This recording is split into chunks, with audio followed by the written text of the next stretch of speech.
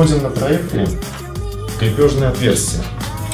Их может быть 3, 4 или более. Берем паук, ослабляем крепежные винты для регулировки балансировки и оставляем на самом пауке то количество крепежных э, элементов, которое соответствует крепежным отверстиям в проекторе. В комплекте крепления проектора мы имеем крепежный элемент. Э, он достаточно универсален, поэтому мы находим нужный нам.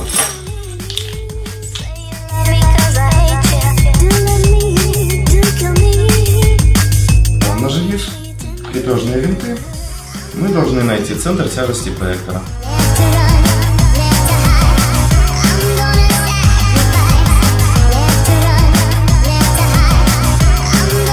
Аккуратно зажимаем винты в выбранном положении и готовимся к установке самой штанги.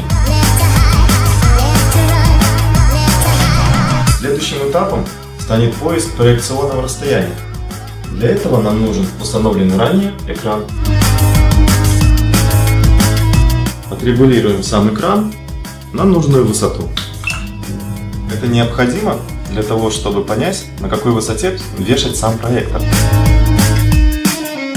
Расстояние от проектора до экрана мы можем вычислить либо опытным путем, но проще будет воспользоваться проекционным калькулятором. После проведения расчетов в проекционном калькуляторе проверим полученные данные опытным путем. Вставляем зум проектора в среднее положение и проверяем, чтобы границы изображения совпадали с границами экрана.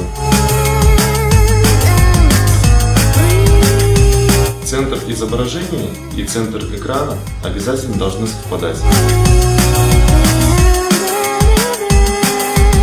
Проведем перпендикуляр относительно центральной линии рабочей области экрана.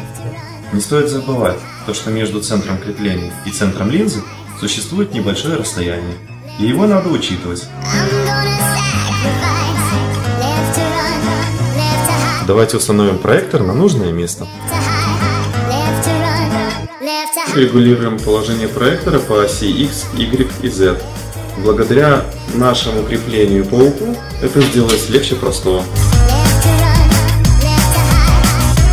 Если в вашем помещении не удается установить проектор по всем правилам и канонам, то вы можете использовать цифровую коррекцию трапеции.